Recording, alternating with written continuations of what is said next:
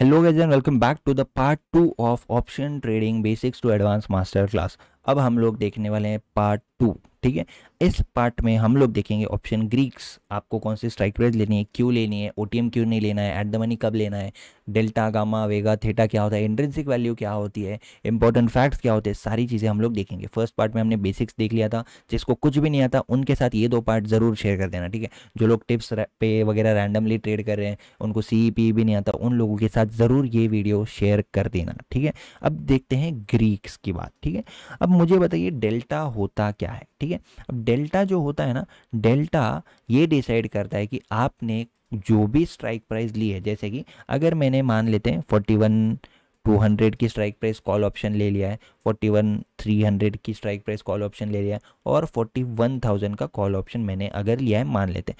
तो कौन से स्ट्राइक प्राइस में मुझे मैक्सिमम बेनिफिट मिलेगा? मार्केट अगर सौ पॉइंट ऊपर जाएगा तो कौन से स्ट्राइक प्राइस का ऑप्शन ज़्यादा बढ़ेगा?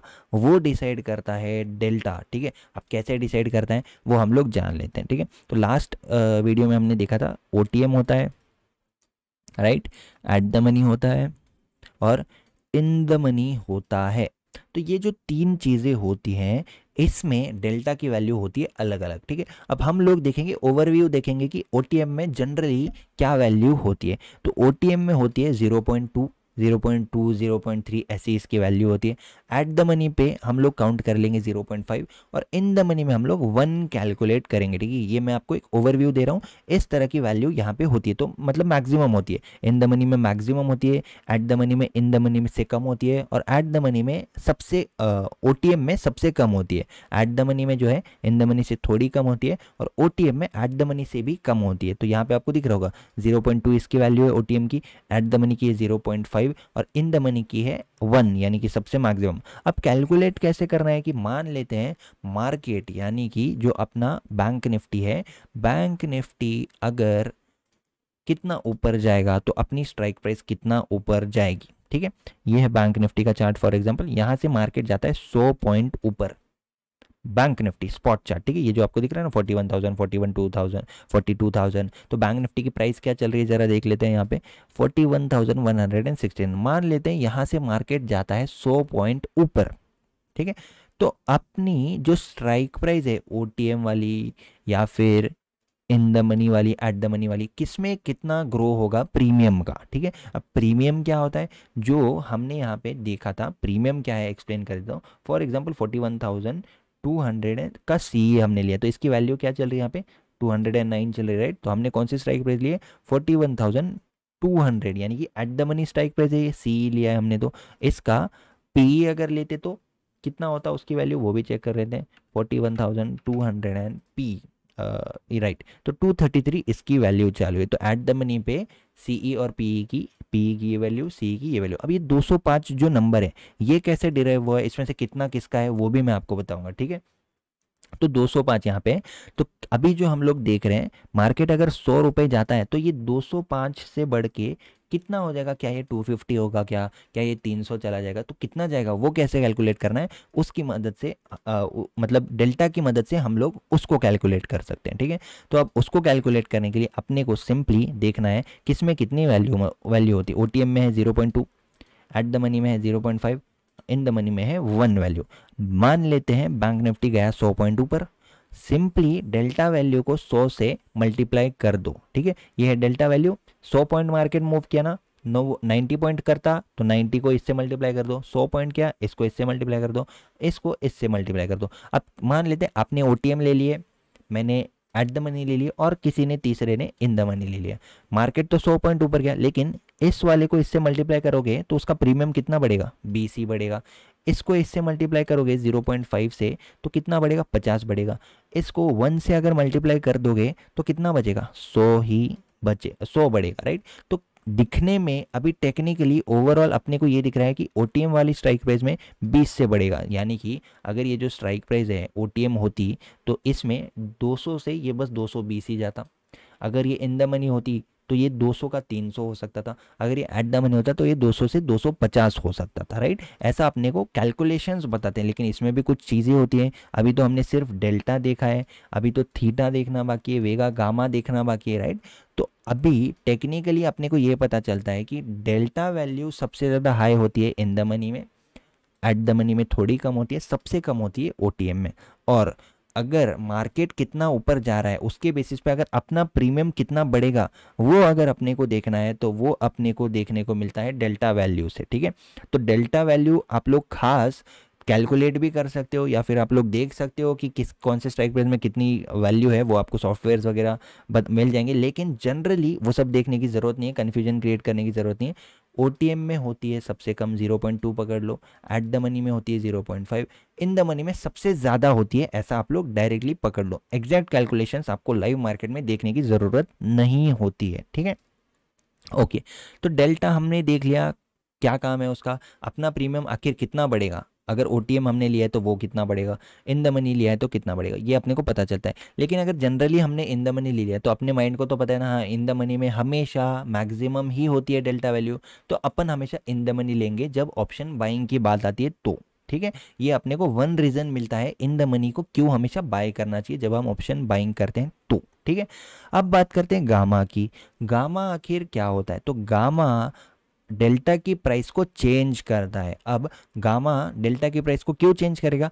ओके okay, क्यों चेंज करेगा? उसका आंसर अगर हम लोग देखें क्योंकि मार्केट एक जगह पे तो होता नहीं है। अब फॉर एग्जांपल ये है बैंक निफ्टी ठीक है? अब बैंक निफ्टी जो है, अभी फ़िलहाल यहाँ पे, अब मुझे बताओ पंद्रह मिनट बाद बैंक निफ्टी अगर यहाँ पे रहेगा फोर्टी वन थ्री हंड्रेड पे तो ये जो फोर्टी वन टू हंड्रेड की स्ट्राइक प्राइस है, ये तो इन द मनी होगी। अभी कौन सी है स्ट्राइक प्राइस क्योंकि प्राइस यहीं पे चल रही तो अभी तो फोर्टी वन टू हंड्रेड का सी है, वो है एट द मनी लेकिन अगर मार्केट ऊपर जाएगा तो ये तो इन द मनी बन जाएगा ना।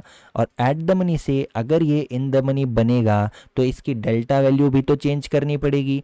एट द मनी पे कितनी होती है delta value 0.5 in the money में कितनी होनी चाहिए? वन होनी चाहिए. 0.9 होनी चाहिए. यानी कि मैक्सिमम होनी चाहिए. तो 0.5 से लेके वन इसको कौन चेंज करता है? वो चेंज करता है गामा यानी कि गामा का ये रोल है कि लाइव मार्केट में जब भी कोई एट द मनी वाली strike price in the money बन जाती है इन द मनी वाली स्ट्राइक प्राइस ओ बन जाती है, कुछ भी होता रहता है मार्केट तो ऊपर नीचे जाता है तो उसकी डेल्टा वैल्यू को चेंज करता है गामा ठीक है? तो आई होप अभी तक आपको डेल्टा भी क्लियर हो चुका होगा, गामा भी क्लियर हो चुका होगा, ठीक है? अब बात करते हैं वेगा की। वेगा में आपको ज़्यादा डिटेल में जाने की ज़रूरत नहीं है, क्योंकि इसका मतलब है सिंपली वोलाटिलिटी, ठीक है? वोलाटिलिटी जब होती है मार्केट में, ऊपर नीचे मार्केट जाता है, उस वोलाटिलिटी की वजह से जो प्रीमियम में चेंज आता है या फिर कभी कभी चेंज नहीं भी आता है इसको बोलते हैं वोलाटिलिटी यानी कि वेगा, ठीक है? तो इसका आपको ज़्यादा लाइव मार्केट में बिल्कुल भी कोई रोल नहीं है। बस इतना समझ लीजिए कि वेगा इक्वल टू वोलाटिलिटी ठीक है? मार्केट जब वोलाटिल होगा तो वेगा की वजह से जो भी प्रीमियम में चेंज आता है, उसको बोलते हैं वेगा, ठीक है? तो डेल्टा मोस्ट इंपॉर्टेंट होता है गामा थोड़ा सा इंपॉर्टेंट होता है, वेगा लीस्ट इंपॉर्टेंट होता है, लेकिन जो थीटा होता है ऑप्शन बाइंग के लिए ऑप्शन सेलिंग के लिए, ये और ये दो चीज़ें आपको मोस्ट इंपॉर्टेंट होती है, ठीक है? तो अब बात कर लेते हैं हम लोग थीटा के बारे में, ठीक है? थीटा क्या होता है? Theta equal to time value अब आपने बहुत बार सुना होगा कि टाइम वैल्यू होती है ऑप्शंस की ऑप्शंस डीके हो जाते हैं। मैंने भी आपको बोला था कि ओटीएम वाले ऑप्शंस ज़ीरो हो जाते हैं एक्सपायरी वाले दिन। तो आखिर एक्सपायरी वाले दिन ऐसा होता क्या है? वो हम लोग देखेंगे। ओटीएम वाले ज़ीरो क्यों होते हैं और इन द मनी वाले ज़ीरो क्यों नहीं होते ठीक है?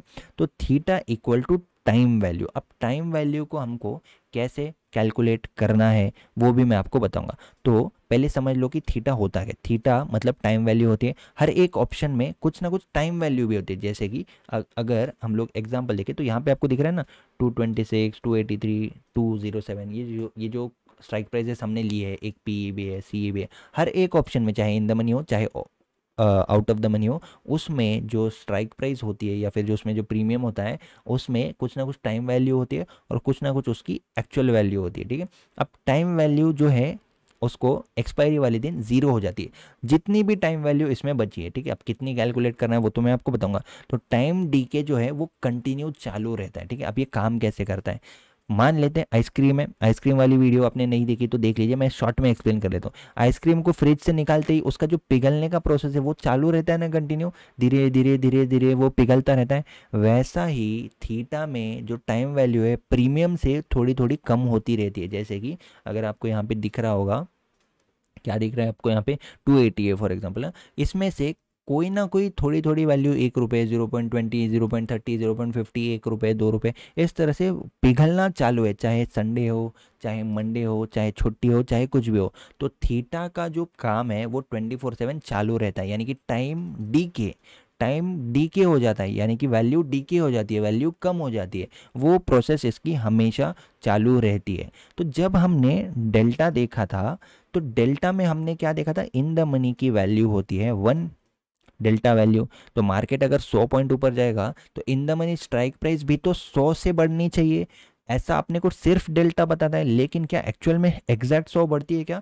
बिल्कुल भी नहीं बढ़ती है। तो एग्जैक्ट सौ क्यों नहीं बढ़ती? क्योंकि थीटा माइनस होता रहता है, कंटिन्यू। ठीक है? जितनी भी इसकी वैल्यू है, वैल्यू एक्स की बात अगर हम लोग करेंगे तो थीटा हमेशा कम होता रहता है। तो इसीलिए अगर मार्केट 100 पॉइंट जाता है तो आपका ऑप्शन 100 पॉइंट बढ़ने के बजाय 70 बढ़ता है 80 बढ़ता है, पूरा नहीं बढ़ पाता। उसका रीज़न है थीटा, क्योंकि थीटा का काम हमेशा चालू रहता है, ठीक है? अब हम लोग बात करते हैं इंट्रेंसिक वैल्यू क्योंकि इंट्रेंसिक वैल्यू से ही अपने को पता चलेगा टाइम वैल्यू कैसे कैलकुलेट करते हैं, ठीक है? अब इंट्रेंसिक वैल्यू नहीं कि, यानी कि एक्चुअल वैल्यू अब मैंने आपको बोला था कि हमेशा आपको इन द मनी लेना है। क्यों इन द मनी लेना है? क्योंकि इन द मनी में डेल्टा वैल्यू भी हाई होती है और इंट्रेंसिक वैल्यू आपको मदद करती है। फॉर एग्ज़ाम्पल मान लेते हैं यहाँ पे ये है मार्केट मार्केट चल रहा है यहाँ पे। For example forty one thousand पे मार्केट चल रहा है। अब इसके नीचे के जितने भी सी हैं, यानी कि forty nine hundred forty eight hundred right forty eight hundred forty nine hundred. तो ये जितने भी सी ई ऑप्शंस है कॉल ऑप्शन है, ये सारे इन द मनी है राइट तो मार्केट यहाँ पे जितना भी ऊपर है ना, ये सारी, जितना भी ऊपर जाता है या फिर जितना भी ऊपर है, ये सारी वैल्यू इसकी एक्चुअल वैल्यू होती है। जैसे कि फोर्टी नाइन हंड्रेड के कितना ऊपर मार्केट चल रहा है? फॉर एग्ज़ाम्पल यहाँ पे ये है forty one hundred, forty one thousand का मार्केट प्राइस चल रहा है, ठीक है? फोर्टी वन थाउज़ेंड का मार्केट प्राइस चल रहा है। हमने सिलेक्ट कर लिया, for example, forty nine hundred का स्ट्राइक प्राइस सी तो कितना ऊपर है? सौ ऊपर है। तो इसमें एक्चुअल वैल्यू सौ है। तो मार्केट अगर यहाँ पे क्लोज भी हो जाता है ना, फोर्टी वन थाउज़ेंड पर ही एग्जैक्ट वैल्यू तो एक्सपायरी के दिन साढ़े तीन बजे आपको इस स्ट्राइक प्राइस की वैल्यू सौ मिलेगी, ठीक है? अभी तो वो आपको नहीं दिखेगी, क्योंकि हर एक प्रीमियम ऑप्शन में, हर एक प्रीमियम में कुछ ना कुछ वैल्यू टाइम वैल्यू भी तो है। For example forty one one hundred का सी ई हम लोग लेते हैं। फोर्टी वन वन हंड्रेड का सीई की वैल्यू क्या चल रही है? दो सौ सत्तर चल रही है। Market forty one one hundred के कितना ऊपर चल रहा है? Ninety one points ninety points तो ये जो नाइन्टी फाइव पॉइंट्स है नाइन्टी फोर पॉइंट्स है, ये है इसकी एक्चुअल वैल्यू तो क्या करना है हमको? 268 में से ये जितना भी मार्केट इसके ऊपर चल रहा है 90 पॉइंट्स उसको माइनस कर लो। तो बची हुई वैल्यू इज़ पूरी टाइम वैल्यू ठीक है? तो टाइम वैल्यू कैसे कैलकुलेट करेंगे? स्पॉट प्राइस ठीक है? आपको यहाँ पे क्या देखना है, ठीक है? स्पॉट प्राइस क्या चल रही है? स्पॉट प्राइस फॉर एग्जांपल चल रही है फोर्टी वन थाउज़ेंड ठीक है? और हमने जो स्ट्राइक प्राइस लिए वो है फोर्टी नाइन हंड्रेड ठीक है? फोर्टी नाइन हंड्रेड हमने स्ट्राइक प्राइस लिए तो मुझे बताओ, इस सी e का जो कॉल ऑप्शन है, इसकी प्राइस फॉर एग्जांपल चल रही है दो सौ दो सौ रुपये चल रही होगी। अब इस प्राइस की कितना ऊपर ये बचा है? कितना ऊपर चल रहा है ये? सी का ऑप्शन हमने लिया है। मार्केट की प्राइस चल रही है फोर्टी वन थाउज़ेंड पे। हमने स्ट्राइक प्राइस लिया forty nine hundred C E right ये स्ट्राइक प्राइस हमने लिए तो कितना ऊपर है सौ ऊपर है। तो इसमें से जो सौ है, वो है एक्चुअल वैल्यू बची कितनी? दो सौ माइनस सौ कर दो, सौ बचती है और राइट अगर ये 210 होता तो 110 जो होती, वो होती थीटा के वैल्यू टाइम वैल्यू और ये थीटा वैल्यू एक्सपायरी पे ज़ीरो हो जाएगी, चाहे इन द मनी हो, चाहे एट द मनी हो, चाहे ओ हो। अब ओटीएम में इंट्रेंसिक वैल्यू होती ही नहीं है, क्योंकि ओटीएम जो होता है, वो प्राइस के ऊपर होता है और जो इन द मनी होता है, वो हमेशा प्राइस के नीचे होता है, यानी कि प्राइस वहाँ पे, वहाँ से जा चुकी है फॉर एग्जांपल ठीक है? तो ये है in the money strike price market चल रहा है यहाँ पे। क्या यहाँ पे मार्केट आया है क्या अभी तक? नहीं आया। तो ओटीएम में सबसे ज़्यादा कम होती है डेल्टा वैल्यू डेल्टा वैल्यू भी बहुत कम होती है और इसमें इंट्रेंसिक वैल्यू एक्चुअल वैल्यू होती ही नहीं है, ठीक है? एक्चुअल वैल्यू सिर्फ़ और सिर्फ़ इन द मनी में होती है। तो अब मुझे बताइए, आपने एक्सपायरी पे फॉर एग्ज़ाम्पल ले ली, कोई ओ स्ट्राइक प्राइस पचास रुपये में ख़रीद लिया और कोई in the money strike price मैंने खरीद ली दो सौ रुपये में। अब मार्केट ऊपर तो जाता है, दोनों के हिसाब से, दोनों के हिसाब से थोड़ा बहुत ऊपर जाता है, लेकिन आपके स्ट्राइक प्राइस को मार्केट क्रॉस भी नहीं करता और एक्सपायरी वाले दिन यहीं पे क्लोज हो जाता है और मेरी स्ट्राइक प्राइस की मार्केट ऊपर, सौ ऊपर क्लोज होता है। तो मैंने जो लॉस किया है, वो है, किया है सौ रुपये का। अगर मैं इसको ये वाली स्ट्राइक प्राइस देता तो जितना भी कैपिटल आपने इसमें लगाया हुआ है फॉर एग्जांपल ये जो स्ट्राइक प्राइस थी, वो थी सौ रुपये की, ठीक है? तो यहाँ पे आपका जो लॉस होता, वो पूरा प्रीमियम आपका ज़ीरो हो जाता। तो जितना भी आपने लगाया, वो पूरा पैसा ज़ीरो होता। लेकिन इन द मनी वाले में कुछ ना कुछ एक्चुअल वैल्यू बचती तो उसका पैसा कभी भी ज़ीरो नहीं होता, ठीक है? ये एग्ज़ाम्पल से अपने को पता करते हैं हम। अभी यहाँ पे मार्केट में प्राइस क्या चल रही है? Forty one two hundred right तो अब किसी को दोनों का एनालिसिस है अपना कि मार्केट ऊपर जाएगा। यहाँ पे किसी ने ले ली फोर्टी वन फोर हंड्रेड का ओटीएम वाला कॉल ऑप्शन और मैंने ले लिया फोर्टी वन वन हंड्रेड का call option in the money वाला। ठीक है, मैंने ली है in the money strike price अब मेरे क्या क्या बेनिफिट्स है? डेल्टा वैल्यू सबसे हाई यानी कि मार्केट 200 पॉइंट जाएगा तो मेरे हाई डेल्टा वैल्यू से मल्टीप्लाई होगा तो 200 पॉइंट में से मुझे कम से कम 150 160 पॉइंट्स मिलेंगे। लेकिन ओटीएम वाले को कितने मिलेंगे पता है? अगर मार्केट यहाँ से दो सौ पॉइंट जाता भी है तो पचास, साठ, ज़्यादा नहीं मिलेंगे उसको। अगर मार्केट उसको क्रॉस करता है तो ओटीएम क्या बन जाएगी? एट द मनी बन जाएगी। फिर धीरे धीरे और क्रॉस करते हैं तो एट द मनी क्या बन जाएगी? इन द मनी बन जाएगी। तो ऐसे उसका डेल्टा भी बढ़ेगा और फिर ऐसे उसका प्रीमियम बढ़ेगा। लेकिन अगर एक्सपायरी वाले दिन मार्केट अगर यहाँ पे आता है फॉर एग्ज़ाम्पल मार्केट यहाँ तक आता है, उसके स्ट्राइक प्राइस तक और यहीं पे क्लोज हो जाता, है तो इसने जितना भी ये प्रीमियम लगाया वो पूरा ज़ीरो हो जाएगा। लेकिन मेरे स्ट्राइक प्राइस में ज़रूर कुछ ना कुछ प्रीमियम बचा रहेगा। ठीक है? एक्चुअल वैल्यू इंट्रेंसिक वैल्यू आप लोगों को क्लियर है? ऐसा मैं समझता हूँ, नहीं क्लियर है, फिर से वीडियो देखिए तो ही आपको चीज़ें समझेगी, ठीक है? तो इन द मनी हमको क्यों लेना चाहिए? अब इसके बाद से अगर कोई आपको बोलता है या पूछता है कि इन द मनी में क्यों काम करना चाहिए तो बेनिफिट क्या क्या है इन द मनी के? डेल्टा वैल्यू हाई होती है, इससे अपने को ज़्यादा पॉइंट्स मिलते हैं।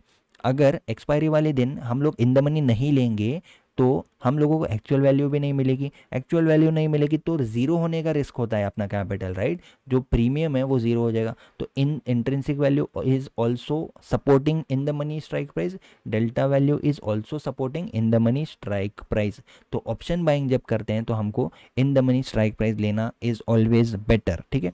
अब ओटीएम या फिर एट द मनी किसको काम आती है? वो काम आती है ज़्यादातर ऑप्शन सेलर्स को, ठीक है? ऑप्शन सेलर्स को डेल्टा वैल्यू हाई चाहिए क्या? बिल्कुल भी नहीं चाहिए। मार्केट अगर सौ पॉइंट ऊपर जाएगा तो प्रीमियम उनके अगेंस्ट में जाएगा। तो अगेंस्ट में जितना कम जाएगा तो ही उनके लिए बेटर है। तो वो लोग क्या करते हैं option seller out of the money के सेल कर देते हैं। सौ में पचास में, दो सौ में तो मार्केट अगर इसके नीचे ही रहता है तो एक्सपायरी वाले दिन आउट ऑफ़ द मनी सारे ज़ीरो हो जाएँगे ना तो वो जितना भी उन्होंने सेल किया दो सौ में या पचास में, वो सारा हो जाएगा ज़ीरो। तो वो लोग सेल करेंगे पचास में, ख़रीदते हैं, वापस बाय बैक करते हैं ज़ीरो पॉइंट फाइव में, वन में। तो ये चालीस फोर्टी नाइन पॉइंट्स के आसपास का उनका पूरा प्रॉफिट होता है।